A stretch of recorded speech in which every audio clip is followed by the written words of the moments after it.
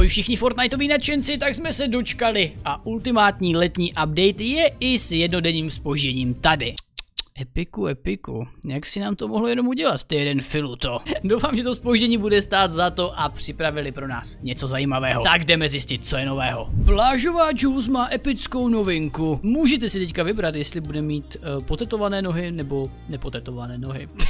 Velmi epické. A co je tohle? Dárek od Epic Games. Je, to je píly, který si jen tak chilluje na pláži a vzpomíná na svůj legendární kousek z live eventu s kamionem. Tak jo, díky Epiku. Jen tak dáreček. Tak, další novinka, co tady je, e, jsou odemknuté nové styly na Indiana Jonese a loading screen, který je reference na film, až na to, že tady e, místo té zlaté sošky, co byla ve filmu, je hlava Tomato Heada. Very nice. A zdá se, že questy na Indiho už jsou taky aktivní, tak to si potom uděláme zvlášť videjko. A stejně tak jsou aktivní i Vibin, příběhové úkoly, které už můžeme splnit. Letíme do hry a hnedka mě zaujala tahle neobjevená lokace.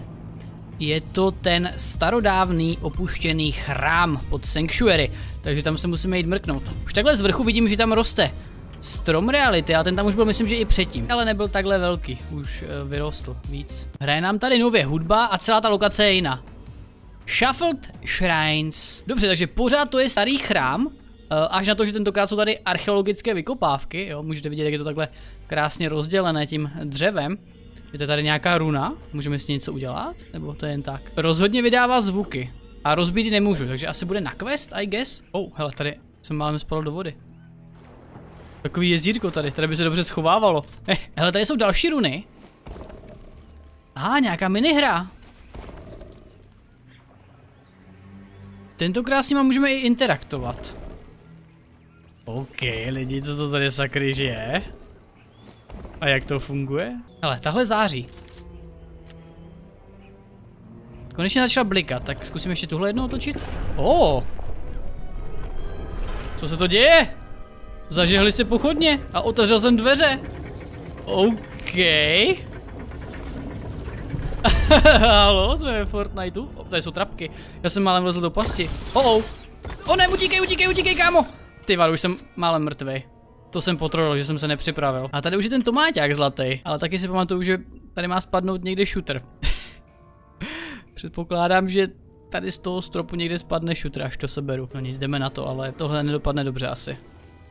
Utíkej! Shooter. Dostal jsem 250 zlata a něco se děje. Spustil jsem Spustil jsem nějakou sekvenci a celý chrám se třese. A je po mně. Tentokrát mám úplně random kombinaci. Musel jsem prostě zkoušet. Konce tady koukám, že na zemi jsou nějaké kachličky, které jsou jiné než ostatní, tak možná se to trigruje jima. Ale tím si nejsem jistý. V každém případě si myslím, že když to proběhneme sprintem, tak by to mohlo být v pohodě. Jo, je to, je to actually těma kachličkama. Je to actually opravdu těma kachličkama. A zkusím tentokrát hnedka zdrhnout. Třeba to dám tentokrát. Ten shooter mě nedožene. Onem bokem! Jo, jo. Ah! Tentokrát jsem to zvládl lidi. Epická hudba, let's go! A to je jako vše. Takový epický event jenom kvůli 250 zlaťákům. Do hry nám vrátili OG item Portafort z nějakého důvodu. Je to prostě přenosná věž, kterou takhle můžete uh, kamkoliv hodit. Jsou v ní pneumatiky, takže si hopsnete nahoru a nemusíte stavit, ušetříte za suroviny. a je tady nový NPCčko Eevee ve hře. Nachází se v Midasově pevnosti. Ve hře má být ještě jedna nová zbraň, Právě, právě padla, let's go, já jsem si to přivolal. Bohužel to není žádná nová shotguna, žádný nový AR, ale další, přátelé, SMGčko. Jmenuje se Charge SMG a ve skutečnosti kvůli němu odebrali Combat SMG, jo, takže to už nenajdete ani v aréně. Padá docela zajímavě, jo. Podíváme se na jeho staty. 16 damage do těla. Stinger SMG má fire rate 12, tohle 16,82, což je mega rychlý střílení, tak jdeme, jdeme vyzkoušet. Aha, vy musíte takhle nejprve nabít, jo, dívejte. Vy držíte a potom až pustíte, tak začne střílet šílenou rychlostí. OK. Zajímavá mechanika ale. Nabíjíte, nabíjíte a pak jenom míříte už. Přebíjí se ultra rychle, to bude spamovací zbraň jako prase. Zajímá mě, kolik dřevěných staveb jedním zásobníkem prostřílíte. Kdybyste začali hrát jako psychouš a prostě jenom pustili. Tři dřevěný stavby lidi. Můžete ho najít normálně na zemi, v dropech, ze žraloků, z čestek, jo, prostě všechny možné způsoby. Doufal jsem teda, že dostaneme nějakou jinou zbraň než zrovna SMGčko, ale je to zajímavé, je to něco nového, rád ho vyzkouším. Koukám, že u kameňáku máme nějaké změny, ale shooter má v ruce lopatu a Staví si tady, tyjo, asi jako epickou pevnost bych řekl. Neuvěřitelný progres od tohohle malého genia. Máma kamenice přečetla už asi 400 knih. Ježiš, pardon, paní Kameňáková. No, naštěstí jedna vám zbyla v ruce. A starý Kameňák, eh, to má velice podobně až na to, že místo knížek louská piv Sony, který mu uh, vesele nosí tady pejsek, chudák, když neví.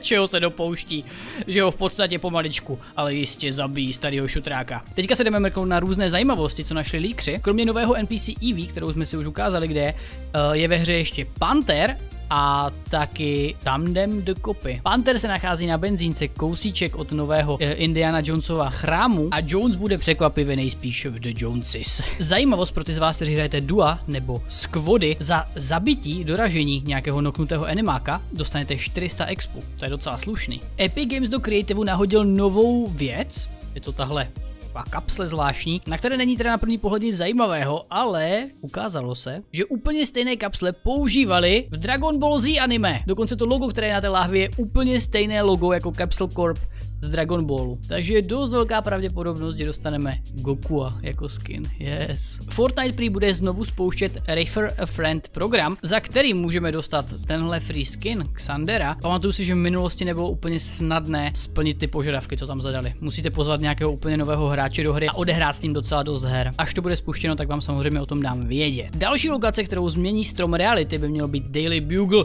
což si myslím, že je velmi očekávaná změna. iFire Monkey našel, že tenhle wrap možná dostaneme zdarma. Budeme si na to muset stáhnout prý jenom nějakou apku, ale zatím to taky není aktivní, stejně jako ten Xander. Zde je nejspíše nová Galaxy holka, eh, na kterou bude i Galaxy Cup turnaj a máme líknuté docela dost zajímavé skiny, které budou mít strašně moc verzí a každý z nich má verzi podle některé sezóny. Je s nimi i dokonce loading screen. Tady máte první sezónu, kde je Jonesy v keříku, druhá sezóna, holčina převlečená v podstatě jako Black Knight a tak dále až po sezónu X. Ty má holčina teplákovku banána.